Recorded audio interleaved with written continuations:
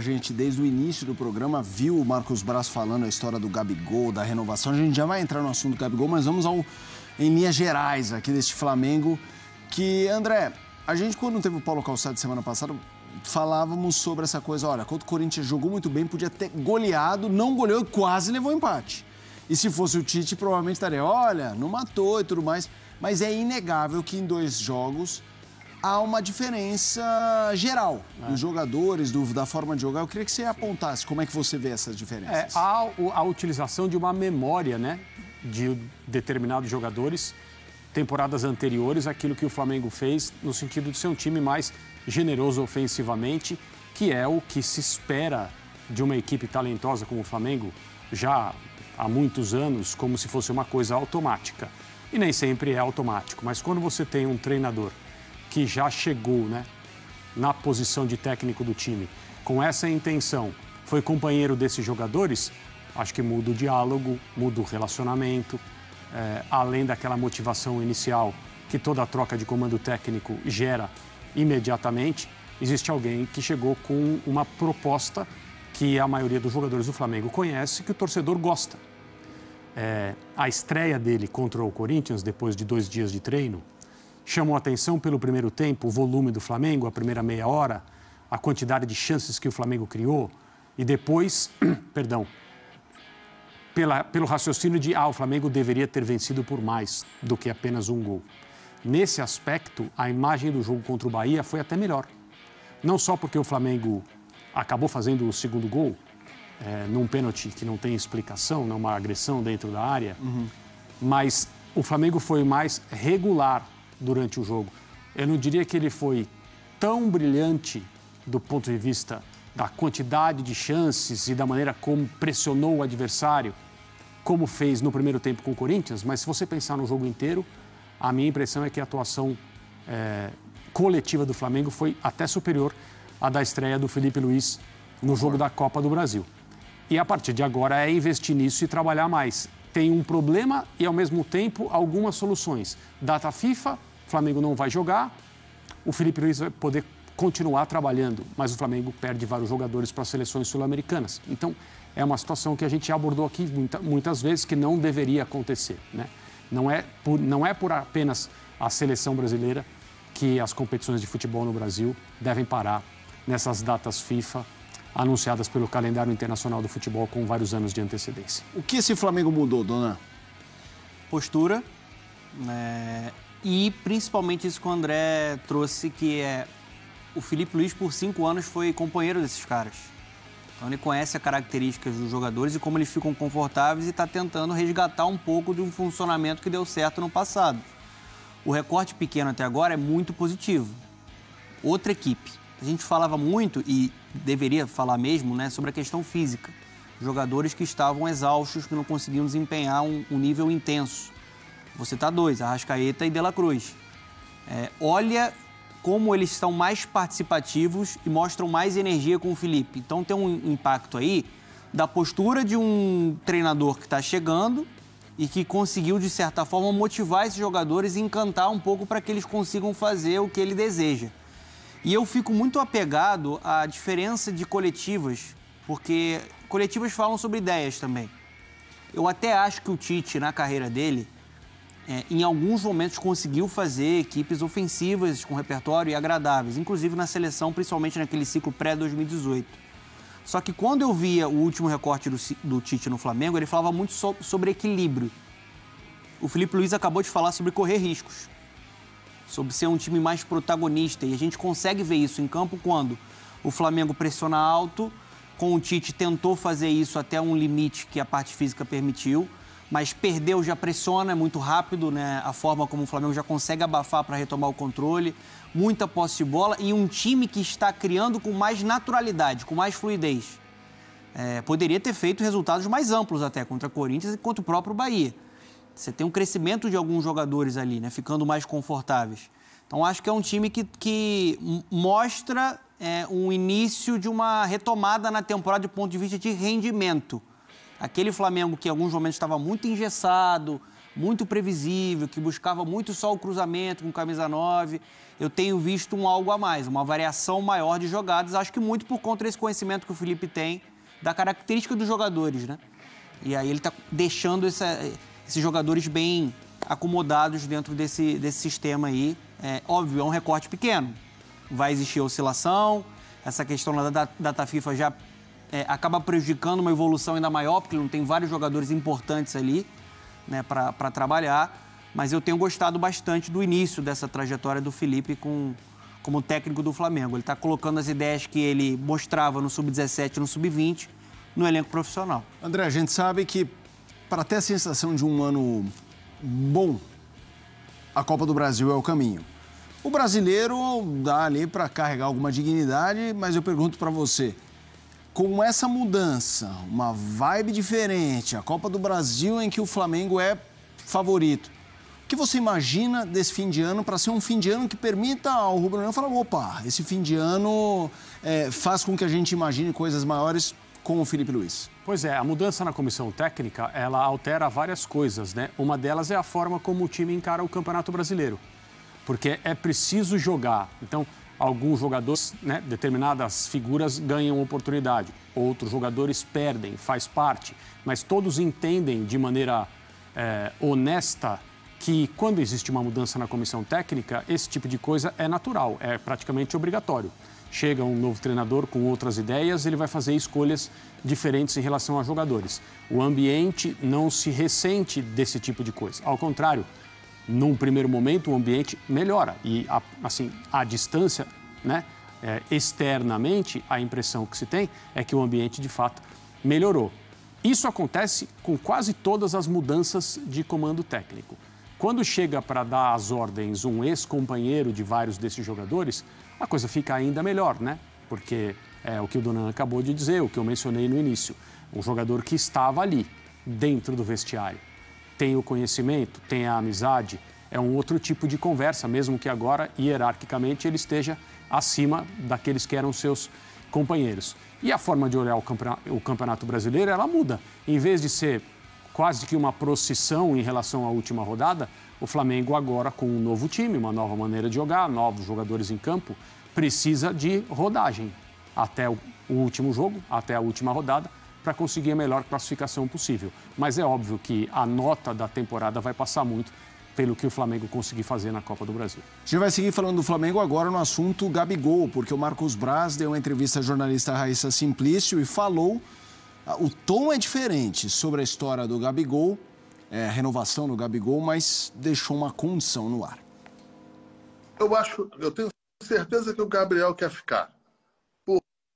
Porque ele ainda não, ele ainda não assinou com nenhum time. E se o Flamengo também não comunicou oficialmente ainda que não o quer, também deixa uma brecha para analisar que o Flamengo deseja ter o atleta é, em determinada situação que precisa fazer os ajustes que forem possíveis para o Flamengo em relação à parte financeira. Então, assim, é aquele negócio, ninguém quer separar. O casal tá brigado, mas ninguém quer separar. Ninguém tem coragem de, de, de separar mesmo. É isso que está havendo, entendeu? Agora, claro que com Felipe Luiz agora, com Felipe Luiz, você tem aí a, a, uma, uma, uns novos ares e um novo norte que, de repente, a gente enxerga que pode é, ter uma, uma renovação de contrato. Hoje eu faço 300 jogos com a camisa do Flamengo e isso para mim é muito especial e principalmente com vocês.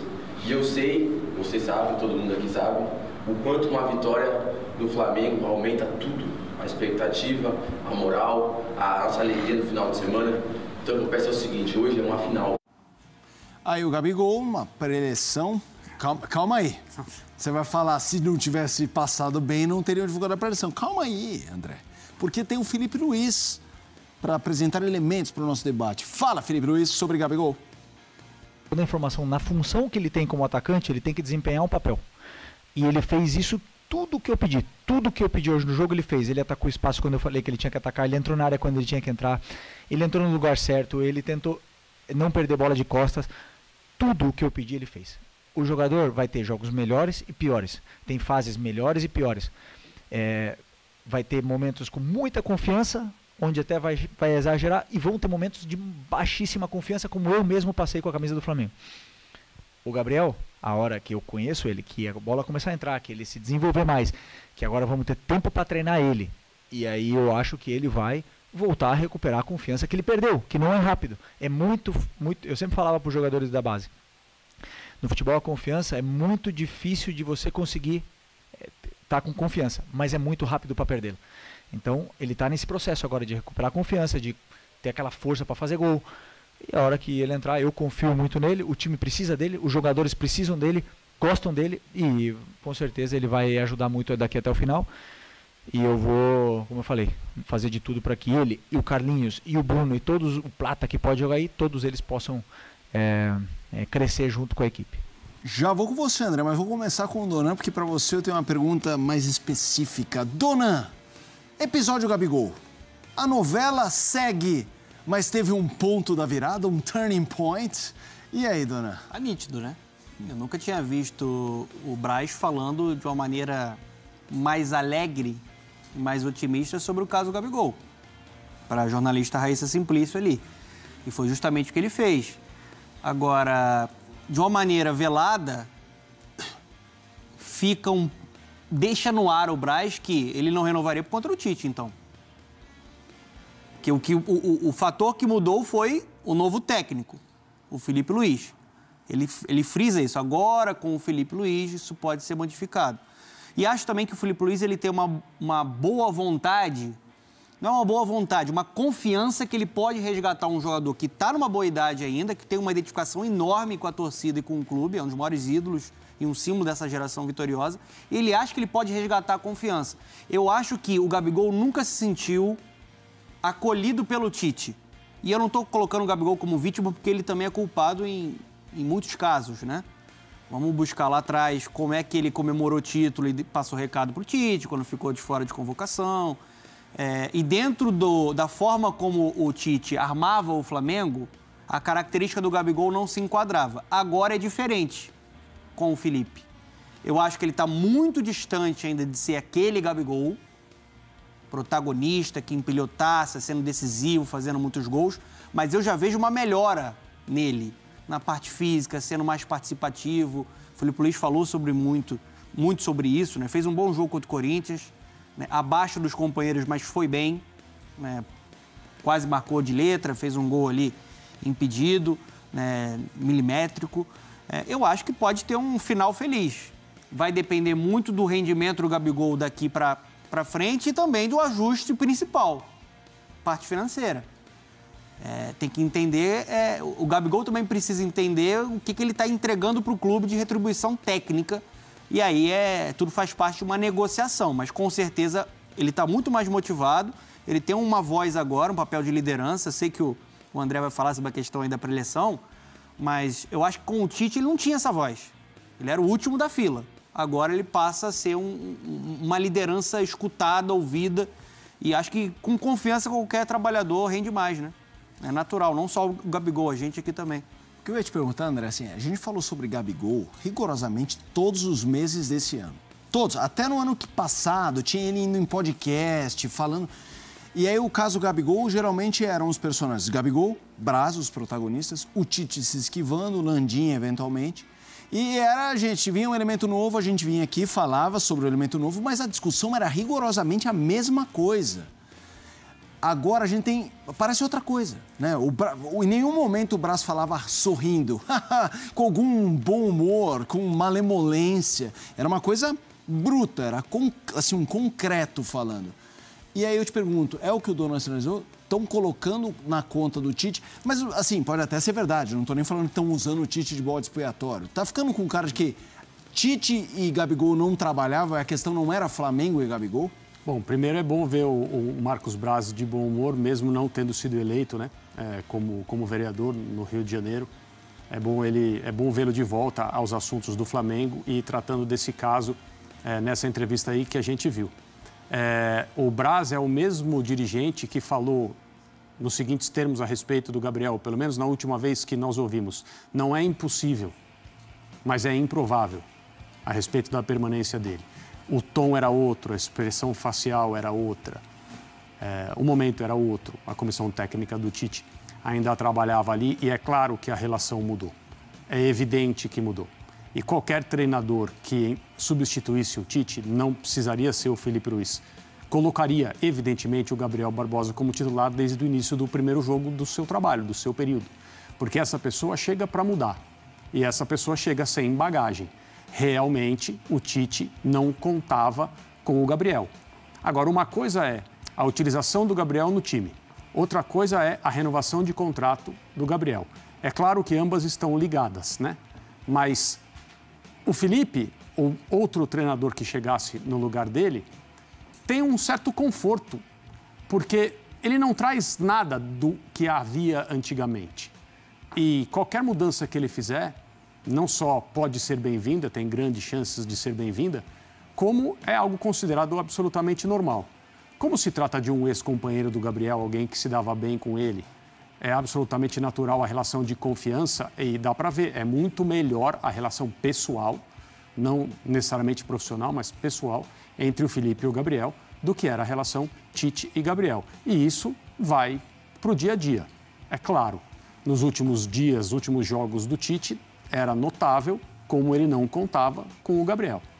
E agora tem uma série de oportunidades a serem aproveitadas. O Pedro está machucado, o Flamengo precisa de um jogador para atuar no ataque. Essa é a posição em que o Gabriel se sente mais confortável. Ele sabe que ele pode fazer um bom ano. Se ele for decisivo no que resta da temporada, em especial na Copa do Brasil, a imagem dele vai mudar radicalmente. Talvez, é, se ele quiser mesmo continuar no Flamengo, a oportunidade apareça de uma rediscussão dos valores, do prazo do contrato. Todos os entraves podem ser discutidos. Por que não? Agora, é, muda muito. Muda do técnico do Flamengo para com o Gabriel, muda do Gabriel para com a sua situação. Mas ele mesmo também já deu entrevistas muito diferentes em relação ao tom e à perspectiva do que essa que a gente viu do Marcos Braz. O próprio Gabriel já falou de maneira bem sombria em zonas, zonas mistas ante, anteriormente a respeito da possibilidade dele ficar. Mas as coisas mudam no futebol, o dinamismo do jogo de futebol não aparece só nas vitórias e derrotas, aparece nesse tipo de alteração, de mudança de clima, de ambiente de um jogador no seu clube. Mas me incomoda essa ideia que a declaração do Braz traz de colocar muito só na conta do treinador. Primeiro, a gente não está lidando com qualquer jogador. Está lidando com um ídolo da torcida rubro-negra. Um jogador ainda com uma boa idade. Eu não acho que o Gabigol acabou o futebol. Tanto que ele já tem uma melhora. Acho que precisava de uma confiança. É, é natural, se você não tem o Pedro, melhor camisa 9 do país, jogador de seleção brasileira.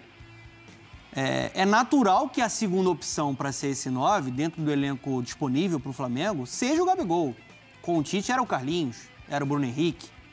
O Gabigol era o último da lista. Então acho que o Felipe Luiz foi inteligente, analisou o que ele tinha de cenário né? Para o Bruno Henrique se adaptar ali era um pouco mais complicado, um jogador que precisa de mais campo aberto, né? vindo da esquerda para dentro, ali ele rende mais. Para o Gabigol, no ajuste fino, eu acho que não vai ser imediatamente que ele vai voltar a ser aquele jogador, mas eu acho que ele pode voltar a ser importante, voltar a ser decisivo para esse Flamengo. E aí acaba sendo também algo que joga contra o Tite, né? Porque o Tite insistiu muito em estilo de jogo que priorizava um 9 e tinha o Gabigol. Aí faltou o repertório. Se eu não tenho o Pedro, tentar encontrar uma outra alternativa, recuperar um jogador. Faltou o repertório, né, de entender a característica do atleta e tentar é, potencializá-lo dentro do, do time titular do Flamengo. E para fechar da minha parte, aqui é uma crítica construtiva. É completamente diferente a coletiva do Tite para do Felipe Luiz.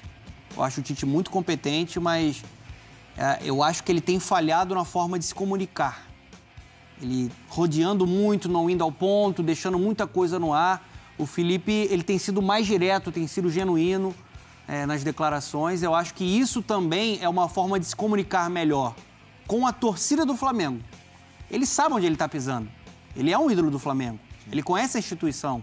Ele conhece os dirigentes que lá estão. Então acho que esse estilo dele também está sendo um estilo que está fortalecendo o vínculo e a sinergia geral de tudo que envolve o Flamengo no momento. Tenho gostado bastante das coletivas dele. Não estou colocando ele num pedestal, só acho que é interessante a forma como ele tem se comunicado até para um, um, cara que está iniciando a trajetória como técnico né, de um elenco profissional.